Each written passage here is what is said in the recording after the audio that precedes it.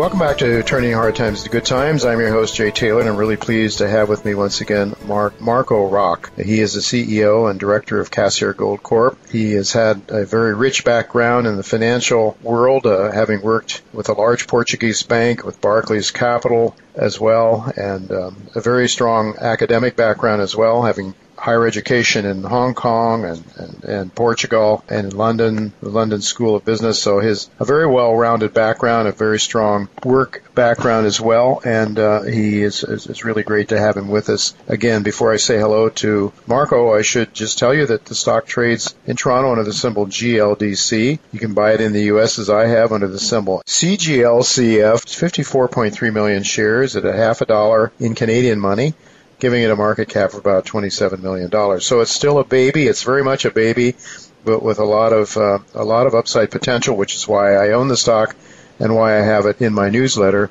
uh, one of my favorites there. So thank you for joining me again, Marco. Thank you for having me, Jay.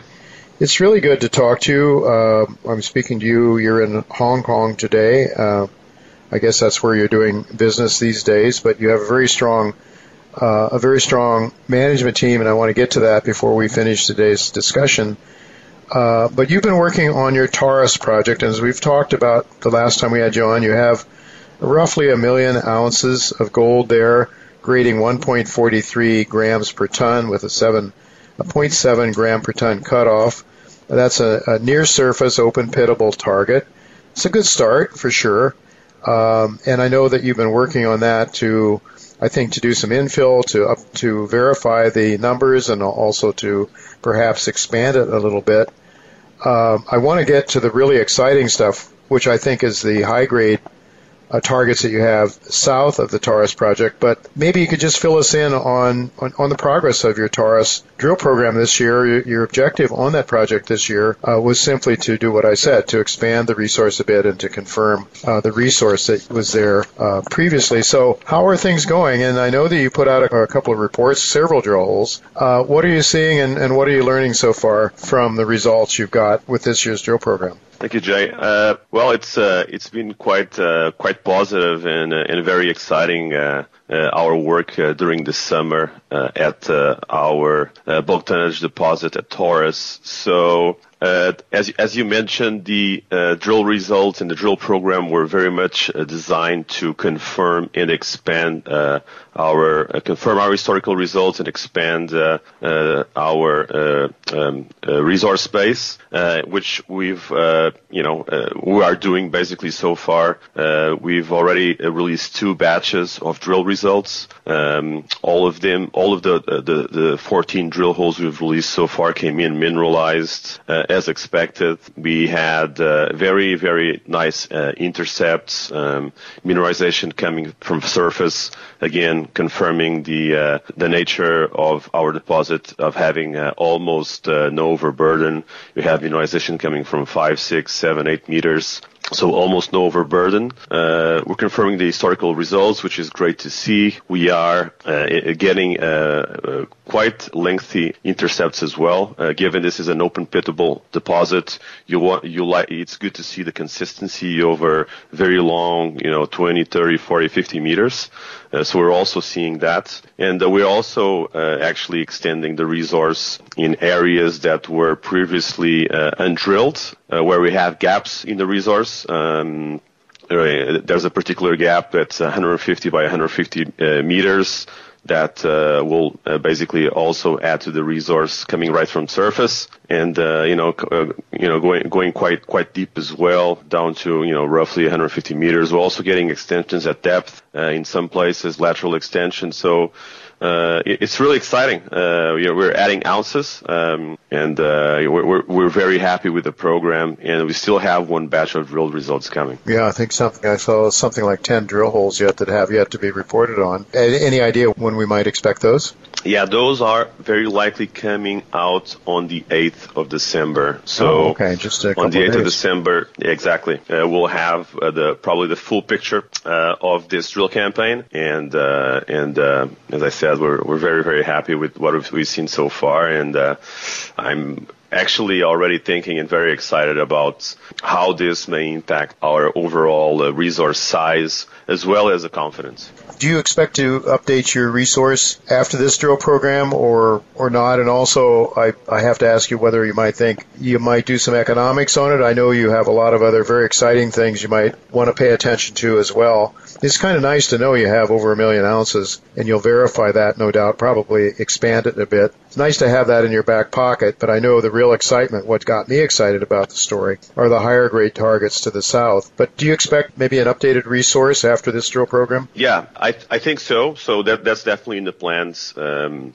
on the uh, on the updated resource. So I think we, we've, we've very very clearly this program will allow us to add uh, you know confidence to a, a, significant portion of our resource uh, as well as uh, adding ounces. You know, and and as as I mentioned as well before, uh, because the uh, there's almost no overburden mineralization coming from surface and the, the, the, the flat lying and shallow nature of of the bulk tonnage deposits uh, being, you know, most of it, most of the resource being less than 100 meters deep. And we have a cutoff grade of 0.7, which is surrounded by infrastructure. Uh, we'll, we'll probably do a resource up, uh, update and, and also, uh, we'll probably drop that cutoff grade, which is, uh, in my opinion, in this gold price environment, unfairly high. Uh, I would be surprised if we keep the, the, the cutoff grade at or above 0.5.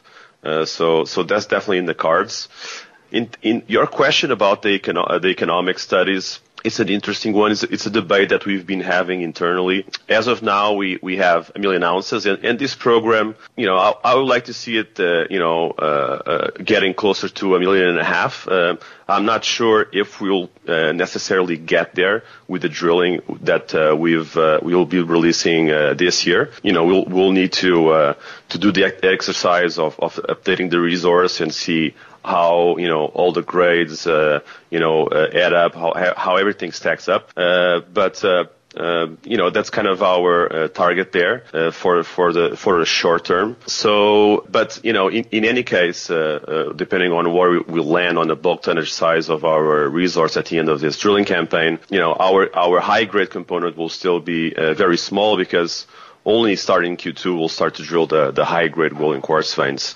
And uh, that, depending uh, how, how much can we start to uncover from that high grade system, can dramatically change uh, the composition and, and, the outlook of our uh, project and uh, economics. Uh, because if we start adding half a million, a million, or more, you know, high grade ounces, you know, this 15 to 25 gram per ton, the dramatic, the, economics uh, changed dramatically, and and you know uh, we're not sure we want to be pinned down to economic study that uh, doesn't include a substantial amount of those high grade ounces when we are very excited and, and quite confident that uh, we might find a substantial amount of those ounces. Yeah, I don't blame you for that at all because uh, if you, you know, if you identify yourself as a as a million ounce or 1.5 million ounce deposit, then people are going to think of you in those terms. Uh, yeah, I think uh, if you can start to have some great success with your high grade veins down there uh, to the south of the Taurus, that that would really start to get investors excited. I know that that is, you know, just looking at some of your illustrations on the website, there's an abundance of east-west trending veins that you've identified that you know about, some of which have been mined to a certain extent. These veins probably go to great depth. It is an orogenic system as I understand it. And, and that means that there's probably something deeper. Are you, uh, are your geologists looking at, at, I'm sure they're looking at the whole picture down there, you know, mm-hmm. trying to determine how to set up a drill program. So would you be able to comment a little bit about what your plans are in 2021 for drilling into this high grade, these high grade uh, vein system? Yeah, absolutely. So yeah, as you mentioned, that uh, that uh, that system uh, is is high grade. So uh, the, the, veins there are you know relatively well understood because uh, they have been mined in the you know mostly in the 70s, 80s, and 90s. these are two to three meter thick veins uh, 15 to 25 gram per ton kind of material, quite quite high grade. Uh, these systems are typically these orogenic systems are uh, typically uh, very large, so you typically have uh, you know, systems that can go for kilometers literally down into the earth, and they're typically stacked. You know, these these veins are typically stacked around these, you know, parallel mafic units. Uh, with uh, you know vertical and subvertical you know links between them. So you know, and, and the old timers only really scratch the surface. Um, so our our team is uh, working quite hard in in um, in preparing for the drill campaign next year. Our plan is to start drilling there in Q2 uh, as soon as the weather allows, because you know it's a it's a more alpine part of our property. Um, uh, so uh, you know weather uh, is is a consideration. Um, so we'll probably start drilling there around uh, April or May. Uh, at the moment, uh, the team is refining the, the geological model and, and, preparing to do some some geophysics as well as some additional work to to start honing into our drill targets.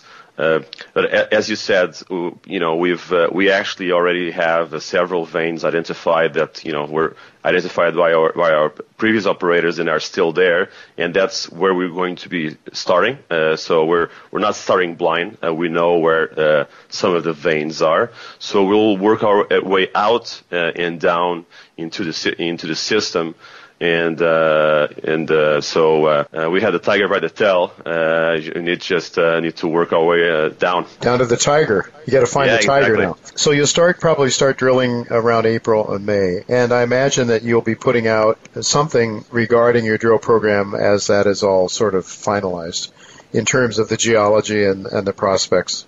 Uh, you'll probably be putting something out in the in, early in the new year, I suppose. Yeah, that's correct. Okay, and I, th- I think this is really an exciting story. I'm really glad that, that you're here to talk about it. I, I want to ask you just with, the, with a minute or so left here. Um, you know, successful mining projects really do require a lot of science. Most people don't realize how much science goes into an exploration program and then into an advanced project and so forth. But could you just take a minute to comment on your team because you have the financial background, the ability to raise money, uh, and that's very important. But ultimately, uh, the ability to put that money to work efficiently requires you to have good scientists. And maybe just quickly talk about the technical strength of your team. Absolutely. It, it is, in my opinion, the most important component of our, uh, you know, of our venture. Uh, you know, raising raising money is relatively easy. Uh, in this market. in this market, for sure, yeah. Uh, and uh, yeah, but but you know, there's no point uh, raising money if uh, if you don't have a team that uh, knows uh, what to do with it. And and uh, we are very very fortunate to have an amazing technical team. We have Doug Kirwin as our chief technical advisor. He has won multiple awards. He has numerous successes under his belt. What he's you know mo- more famous, mostly famous for discovering the Hugo Dummett deposit at Oyu Tolgoi that made Ivanhoe Mines and was uh, later sold to, to Rio Tinto. More recently as well, uh, we were able to add, uh, roughly three, four weeks ago, we were able to add uh, David Rhys uh, to our technical advisory team. David Rhys is a, is a structural geologist. He's actually one of the foremost uh, orogenic gold experts uh, in the world. We are really, really lucky to to to be able to to add him, and to be to be quite honest, uh, kudos to, to Doug for, for being able to convince uh, uh, David Rhys to join. Uh, and I think also the fact that uh, I can see that uh, with the level of involvement that Dave has already had in the last few weeks, I'm really, really impressed. And, and the reason is as well probably is David has worked in this project 12 years ago. Uh, so, so he does know the asset quite well, and uh, probably his excitement about the project uh, also was part uh, of the reason that we were able to secure him. Uh, you know, Chris Stewart was one of our board members, was just commenting how hard he was. You know, it is to to secure someone like David Rhys. he is he's coveted by some of the largest.